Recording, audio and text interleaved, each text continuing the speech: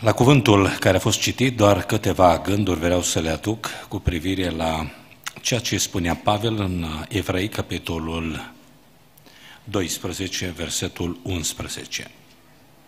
Este adevărat, este adevărat că orice pedeapsă deocamdată pare o pricină de întristare și nu de bucurie, dar mai pe urmă aduce celor ce au trecut prin școala ei roada dătătoare de pace a neprihănirii. Orice pedeapsă, deocamdată, pare. Observăm cum uh, sunt lucruri care doar par, trăim în aparențe, lucruri pe care acum nu le înțelegem, le înțelegem mult mai târziu și de asta trebuie să fim răbdători. De aceea astăzi, pe scurt, vreau să vă prezint cea mai înaltă școală a vieții. Cea mai dificilă lecție de viață, cel mai greu examen în viață, cea mai complexă situație a vieții și anume suferința. Școala suferinței. Școala suferinței. Ca să le putem uh, memora mai ușor, sunt trei lucruri importante legate de școala suferinței, toate încep cu litera P. În primul rând, suferința este un principiu biblic. Este o lecție pe care o înveți. Evrei 11 ne arată galeria credinței, e ca un muzeu în care te duci și vezi tot felul de tablouri, de imagini. E bine, în toate tablourile astea, nu ai nici măcar un personaj despre care să spui a fost scutit de suferință, n-a suferit deloc. I-a mers bine toată viața. Indiferent care sunt acei eroi, că-i Avram, că-i Iosif, că-i Moise, că-i Daniel, că-i Ieremia, când face analiza, spune, toți aceștia au suferit pentru credința lor. Toți aceștia au suferit și după ce se termină toată galeria asta credinței, la un moment dat, cel mai frumos tablou, cel mai măreț tablou, cel mai mare, e tabloul Domnului Isus Hristos. Și acum spunea în versetul 3 din capitolul 12, uitați-vă, dar culoarea minte, la tabloul ăsta trebuie să zăbovești, trebuie să pui ceva în mintea ta, uită-te că ai ceva de învățat. Uitați-vă, dar, culoarea minte la cel ce a suferit din partea păcătoșilor o împotrivire așa de mare față de sine. Și astăzi noi de dimineață am sărbătorit, ne-am amintit de moartea și suferințele Domnului Isus. Suferința face parte din viața noastră, dar trebuie să înțelegem în primul rând că este un principiu biblic, este o lecție de viață. E ceva de la care putem învăța. Uitați-vă la toți înaintași, uitați-vă la Domnul Isus, a suferit și noi vom suferi. Și de aceea, observați cum pune Pavel problema aici, suferiți pedeapsa, pentru că uh, e greu de înțeles asta. Eu pot să sufăr fără să sufăr, adică să spun, să am, ai un șef sau ai un coleg pe care nu-l suferi, tu oricum suferi de la el, dar tu nu-l suferi, adică nu-l accepti. A suferi pentru el înseamnă a accepta acea suferință, să suferi suferința, să suporți suferința. Asta a făcut Domnul Isus Hristos. Când i-au bătut cuiele în mâini, Dumnezeu nu l-a anesteziat și el n-a simțit nicio durere. El a simțit durerea, dar a suportat-o. A suferit-o. Adică a spus, accept asta, așa cum este. Mă doare, dar accept. Și nu mă răzbun, și nu mă răzvrătesc, și nu fac rău, și nu blestem, ci mă rog pentru ei ca Dumnezeu să ierte. Asta este suferința, să suporți durerea.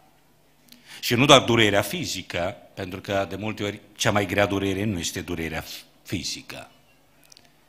Este durerea emoțională, psihică, cuvinte care dor mai mult decât uh, un ciocan pe care îl primești peste deget.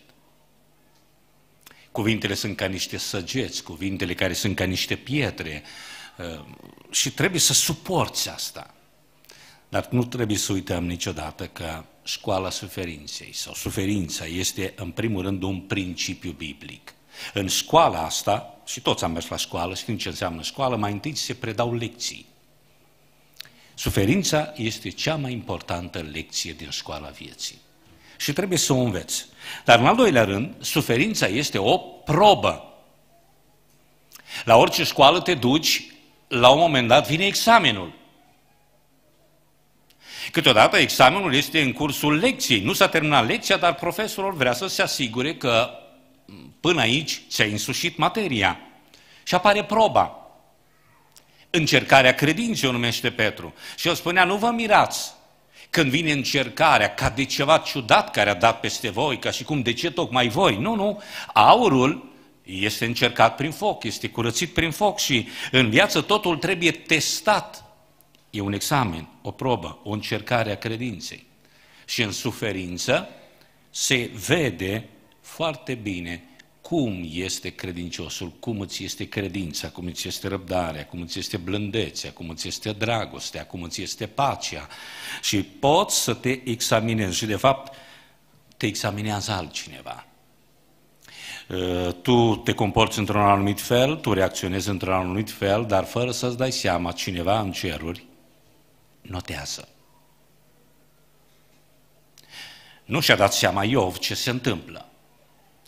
A venit o zi din senin, era chiar o zi de sărbătoare, era chiar o zi de bucurie, toți copiii erau adunați la un loc, uh, era o zi în care el se pregătea pentru rugăciune, avea un obicei, urma să se roage după ce se termina bucuria, el deja își pregătea rugăciunea, își pregătea îndemnurile, ce să le mai spună uh, copiilor, trebuia să stea de vorbă cu ei, dar dintr-o dată a venit o veste. Casa în care erau copiii tăi s-a prăbușit, toți morți. Alt sol vine și spune că milele tale toate nu mai sunt. A venit altcineva și a spus turmele tale și apoi, și apoi a venit și medicul și i-a dat un diagnostic și a spus afară din casă, se citea dimineață, nici soția lui nu mai suporta respirația, nici copiii lui nu mai vroiau acolo, nici slugile lui nu mai ascultau ce spunea, că a spus, n-are rost, nu mai țineți cont de ceea ce spune, e ca și mort, e în comă, s-a terminat cu el. Și toate astea au venit și Iov nu le înțelegea și avea mii și mii și mii de întrebări. Și se citea capitolul acela care era plin de întrebări. Ei, ce nu știa Iov, că trecea printr-un examen și că în cer cineva nota cum se va purta Iov. Fiecare cuvânt pe care îl rostește Diavolul abia aștepta, abia aștepta să audă cuvântul blestemat.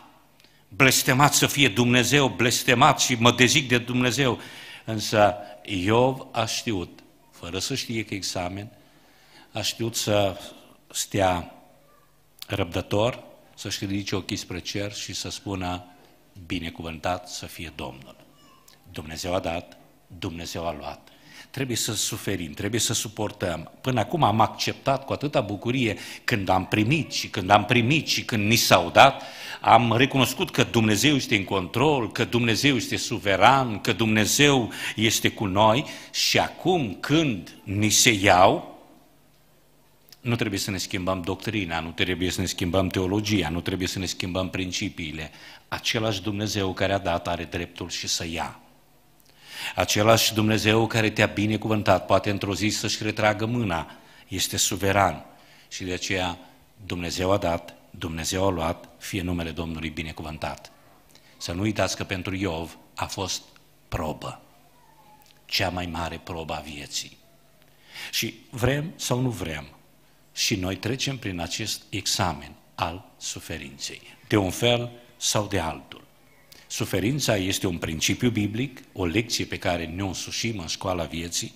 Suferința este o probă a credinței noastre, o încercare a credinței, un examen pe care îl dăm, un test. Dar în al treilea rând, suferința este și o pedeapsă. Disciplinare. La școală, da examen, dacă n-ai trecut examenul, dacă n-ai luat notă de trecere, se aplică măsuri disciplinare. Una poate fi nota în sine, deja nota pe care o iei, rușine, să iei un 4, aici deja și 5 este notă cu care nu treci clasa, e o rușine. Ce-i greu la noi, poate altă dată o să vorbim despre asta, este că, din păcate, sunt copiii care se laudă. Sunt unii care cred că a rămâne repetent, a rămâne corigent, e mare realizare, ești cineva și cei care învață sechione, ăștia sunt niște, au, n-au minte. Suferința este o pedeapsă. În primul rând, mustrarea. Când profesorul îți dă o șansă și îți spune, ai luat patru, ai luat cinci, poți să recuperezi, recuperează.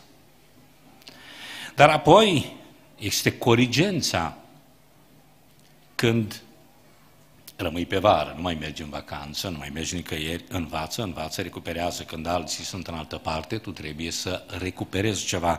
Și dacă nici atunci nu îți pui bine uh, mintea la contribuție, rămâi repetent. Și toate astea sunt forme de disciplinare, de pedeapsă, pentru a recupera. Însă, forma cea mai gravă de pedeapsă este exmatricularea. În termenii noștri de statut de biserică, noi avem câteva forme de disciplinare. Mustrarea personală. Adică cineva se poartă într-un fel în care n-ar trebui să se poarte și atunci păstorul, slujitorul îl mustră personal. Dacă nu ascultă sau dacă sunt alte situații, el poate mustra pe acel cineva în fața comitetului sau în fața celorlalți slujitori sau în, într-un grup restrâns. Apoi o altă etapă este mustrarea în fața bisericii, că nu te ascultă mustri în fața bisericii. Mai sunt apoi retragerea unor drepturi, dreptul de a sluji, dreptul de a te împărtăși la cina Domnului, dreptul de a participa. Și în cele din urmă, cea mai gravă formă de disciplinare este excluderea, când cineva nu mai face parte din biserică, dar nici nu mai poate face parte din biserică. Este exclus pentru că nu se califică absolut deloc pentru a fi parte dintr-o biserică. Ce vreau să spun în încheiere ca părinți, de multe ori noi trebuie să luăm aceste forme de disciplinare, pentru că asta este cea mai, cred eu, cea mai grea din toate cele pe care le-am spus, ca principiu, ca lecție, le putem învăța ușor. Ca și probă, e ușor. Dar ca pedeapsă e cel mai greu. Doar câteva lucruri practice. Ce am observat este că atunci când pedepsești, trebuie să te asiguri, trebuie să te asiguri că se merge în direcția bună. Pedeapsa totdeauna se dă cu direcția îndreptării, recuperării, reabilitării. Spune aici Pavel, celor care au trecut prin școala ei, roada dătătoare de pace a neprihănirii. Există o, o finalitate. Noi spre asta trebuie să cintim. Finalitatea nu-i să îmbrăcoresc nervii, nu-i să arăt că am dreptate, nu-i să arăt cine comandă, nu-i că... ci trebuie să recuperez pe cel care nu ascultă, pe cel care a căzut. Apoi când disciplinăm, iarăși am observat o, o atitudine păguboasă. E adevărat că tu poți să restrângi niște drepturi ale copilului, dar poți să iei telefonul, să spui o zi, o săptămână, o lună, nu mai ai telefon. Dar dacă lui îi place să citească Biblia, nu te apuca să iei Biblia. Și vreau să exagerez, pentru că cel mai bine e așa, când exagerez, eu uh, totdeauna, uh, să știți că folosesc asta, exagerez de multe ori, pentru că dacă aș da exemple care se întâmplă, unii s-ar simți, dar de multe ori exagerez doar ca să ne dăm seama ce se întâmplă. Când îți pedepsești copilul, nu-i spui dacă lui place să vină la biserică, nu mai ai voie să vii la biserică. Asta nu-i pedeapsă. Nu mai ai voie să mergi la școala duminicală sau la adolescenți sau la tineri. Asta nu-i pedeapsă. Adică nu e o pedeapsă care e, e bună, duce spre o direcție bună, e altceva. Trebuie să ai grijă atunci când pedepsești, ca pedeapsa aceea să fie pe măsură și trebuie doar din plăceri, nu din nevoi. Să-i tai copilului din plăceri. Nu îi, nu-i tai din mâncare, nu-i mai dai mâncare o săptămână. Iei telefonul, iei altceva, pe o săptămână nu-i dai voie din plăceri să-i tai, nu din nevoi.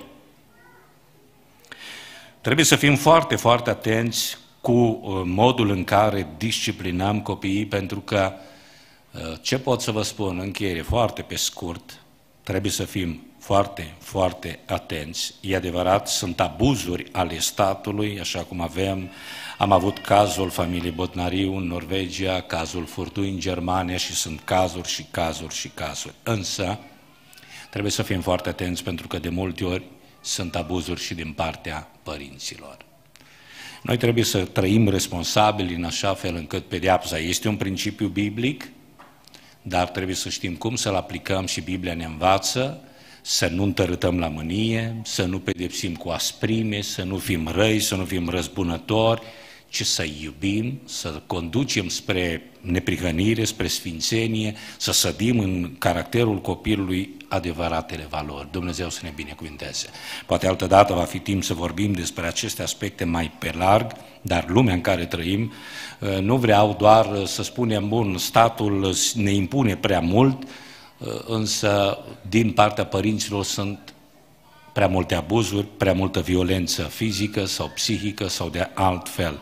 Noi ca și părinți trebuie să avem grijă în primul rând de copiii noștri, trebuie să fim responsabili de ei, să iubim, să-i prețuim și orice formă de pedeapsă trebuie să conducă spre o viață, să le dorim binele, spre roada dătătoare de pacea neprihănirii. Dumnezeu să ne binecuvânteze.